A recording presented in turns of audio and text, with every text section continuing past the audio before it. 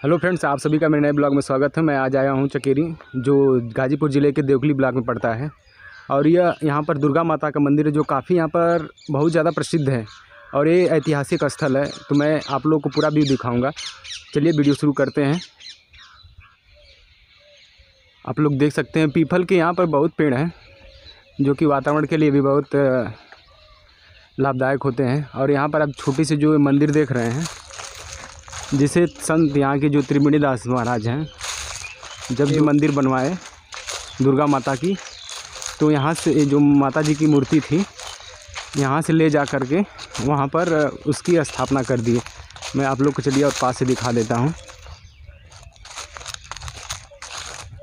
अब देख सकते हैं, यहीं पे यहीं पे मूर्ति थी, जिसे त्रिवेणी दास महाराज जो यहाँ के महंत हैं, उनको उन्होंने यहाँ से मूर्ति ले जाकर, जहाँ दुर्गा माता का मंदिर स्थापित किया गया है, जो कि जयपुर से आई थी और वो नौ कुंटल की मूर्ति है, वहीं पर ले जा कर के मूर्ति की स्थापना कर दिया गया। मैं चलिए आप लोग को और पास से दिखा देता हूँ, जहाँ पर दुर्गा जी का मूर्ति की स्थापना हुई है।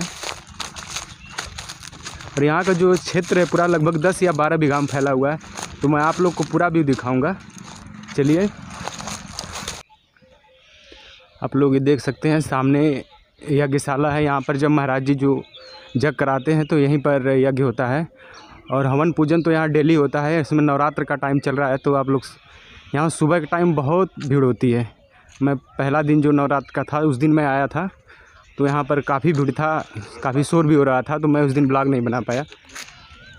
तो उस दिन का मैं क्लिप थोड़ा सा रिकॉर्ड किया हूँ, मैं इस वीडियो में आप लोग को दिखा दूँगा।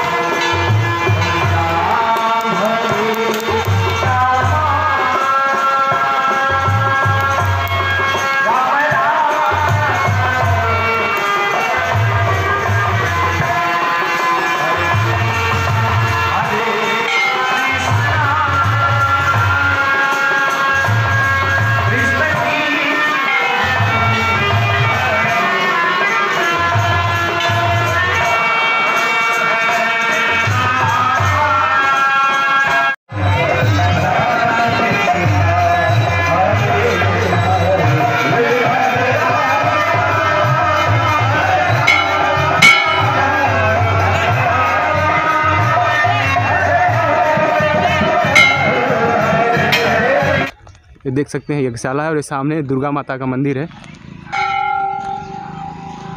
चलिए, यहाँ पर बाबा होंगे तो उनसे भी मैं बात करूँगा। और जो यहाँ की मूर्ति है, मैं उस बारे में बाबा से बात करूँगा। और यहाँ देख सकते हैं, दुकान है। यहाँ पर प्रसाद मिलता है।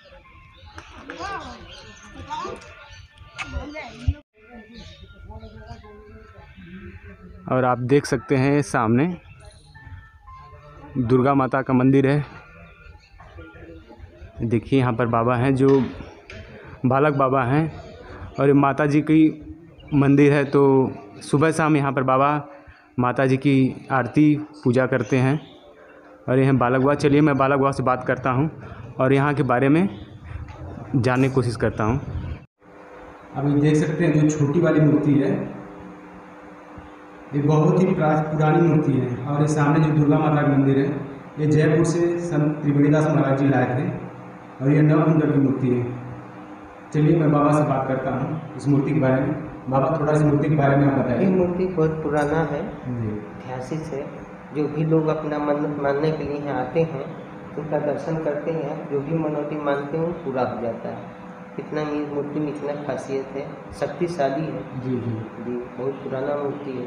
और यहाँ पर जो भक्त लोग आते हैं पूजा करने सारे भक्त लोग आते हैं पूजा करने के लिए जो प्रसाद ये अपन लेके चढ़ाते हैं नरियल जो भी पूरी यहाँ बारह मास हलवा पूरी चलता है एक महीना खाली नहीं रहता है। और यहाँ पर अखंड दीप भी जलता है। अखंड दीपक भी जलता है दस आप लोग देख सकते हैं। जी। ये नौ दिन पूरा नवरात्र में अखंड दीप यहाँ जलता है। बारह मास जलता है बड़े वाला अच्छा बारह माह जल रहा है। जी एक बारह मास जलता अच्छा। ये मूर्ति है जी। जी भी लोग यहाँ मन्नत मारते हैं मानते हैं माता जी। के सामने आके यहाँ पे चुपके पे उन लोग को पूरा हो जाता है। एक अच्छा। कृष्ण भगवान के हाथ की मूर्ति है बहुत पुराना। पहले मूर्ति महाकाली महालक्ष्मी महासरस्वती की थी। इस मंदिर के पीछे वो मंदिर बाढ़ में गिर गया तो उसमें से ये मूर्ति मिली है। तो मूर्ति मूर्ति ये जो है वो काफ़ी पुराना है। बहुत काफ़ी पुराना है बहुत जी जी। आप नवरात्र में बताते हैं होगा कि पूरा नौ दिन जल हाँ, बस हाँ, लेते हैं और कुछ। जैसे हम छोटे पे तभी से थे। नौ दिन जल पी के रह जाते हैं। अच्छा। सिर्फ़ जल पी के माता जी के रह जाते और यहाँ पर हनुमान जी का भी मंदिर बन रहा है तो चलिए मैं आप लोग को दिखा दे रहा हूँ। अभी निर्माणाधीन है अभी पूरी तरह से बना नहीं हुआ है। चलिए मैं आप लोग को दिखाता हूँ। और आप लोग देख सकते हैं अभी हनुमान जी का यहाँ पर मंदिर बनेगा। अभी यहाँ पर काम चल रहा है। अभी कुछ दिन बाद यहाँ पर मतलब काम अभी रुका हुआ है तो कुछ दिन बाद फिर शुरू हो जाएगा तो यहाँ पर हनुमान जी का मंदिर बनेगा।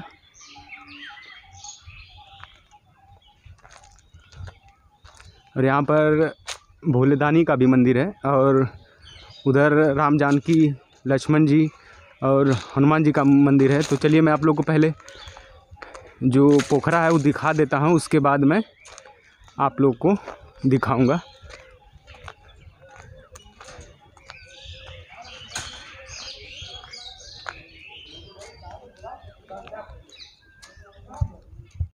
और आप लोग देख सकते हैं चिंटू यादव यहाँ जब भी आप आएँगे इनकी दुकान प्रॉपर आप लोग को मिलेगी। चलिए इनसे बात करते हैं। यहाँ पर आप बता बताइए कि माता जी को मतलब क्या चढ़ाया जाता है प्रसाद में?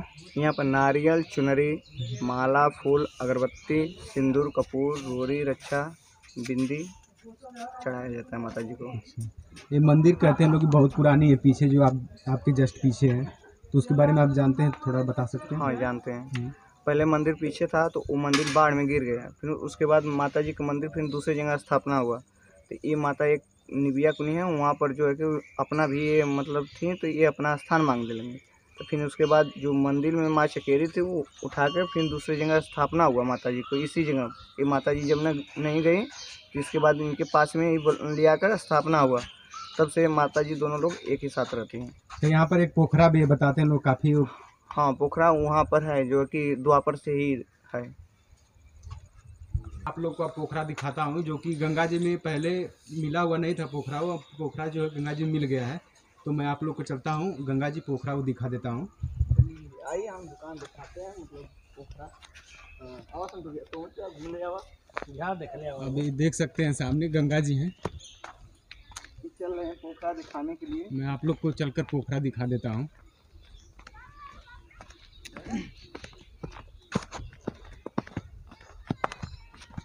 यहाँ पर लोग सुबह यहीं पर नहाकर जाते हैं तो माता जी का पूरा दर्शन वर्शन करते हैं लोग।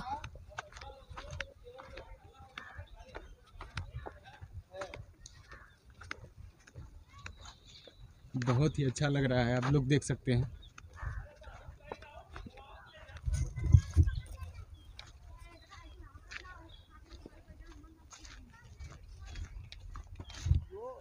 दोस्तों मैं आप लोग पोखरा के पास आ गया हूँ। चलिए मैं आप लोग को दिखा देता हूँ। देख सकते हैं।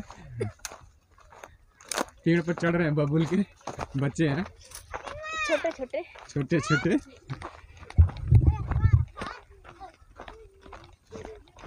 पोखरा में हम लोग पोखरा में आ गए हैं देख सकते हैं चारों तरफ़। हम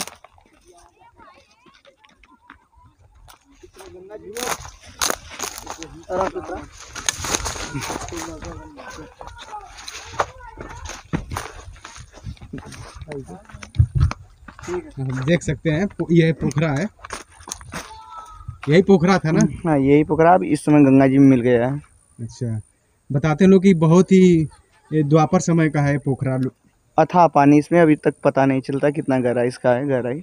बताते हैं लोग कि पानी इसमें कुछ कोई भी वस्तु डाला जाता है तो पता नहीं चलता है। इस समय नाव फ़िलहाल में चल रही है देख सकते हैं आप। पास में ही पता नहीं चलेगा कितना गहरा है। आप लोग देख सकते हैं ये काफ़ी गहरा पोखरा है। और अब देख सकते हैं ये सामने भाई साहब इसमें नाव भी चला रहे हैं। दिखा दो उधर भी दिखा दो।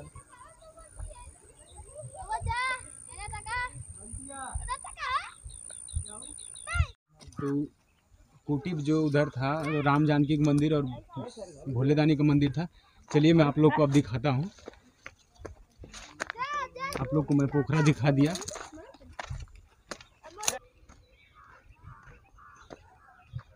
अब हम लोग अब ऊपर आ गए। चलिए मैं आप लोग को अब भोलेनाथ का मंदिर दिखा देता हूँ और राम जानकी का लक्ष्मण जी हनुमान जी का मंदिर दिखा देता हूँ।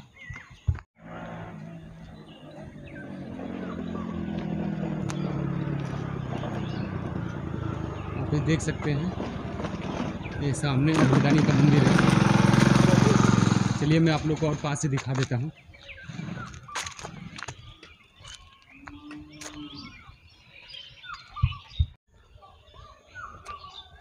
ये देखिए, मैरिज हॉल है। यहाँ पर शादी विवाह भी होता है। और ये बगल में भोलेनाथ का मंदिर है।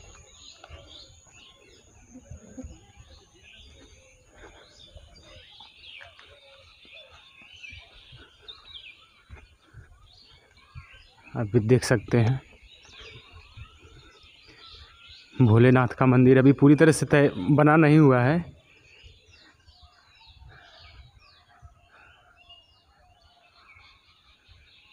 ये देख सकते हैं।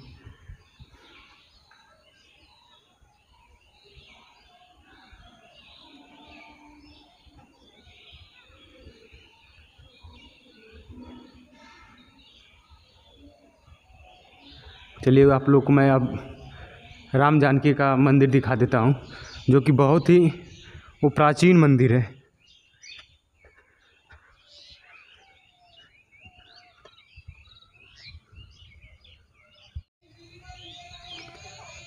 तो आ गए हैं फ्रेंड्स, अब हम राम जानकी मंदिर के पास। मैं आप लोग को दिखा देता हूँ।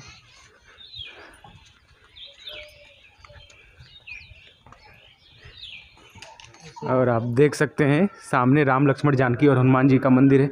ये मंदिर बहुत ही पुराना है। आप लोग देख सकते हैं, बहुत ही अच्छा लग रहा है। अब देखिए, राम लक्ष्मण जानकी और नीचे हनुमान जी हैं मतलब बैठे हुए हैं पास में।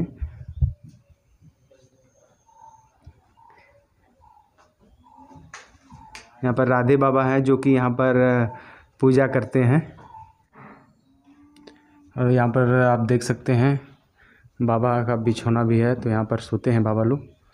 चलिए चलिए मैं आप लोग को अब दिखा देता हूँ। बाबा का रसोइयाँ जहाँ पर बाबा लोग का भंडारा बनता है, और यहाँ पर बाबा लोग रहते भी हैं।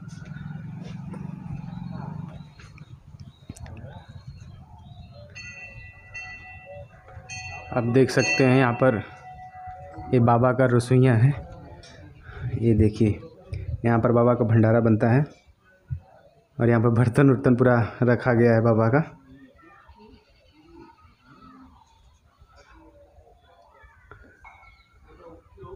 और यहाँ पर सामने संत त्रिवेणी दास महाराज जी रहते हैं, जो कि इस टाइम नहीं है बाबा।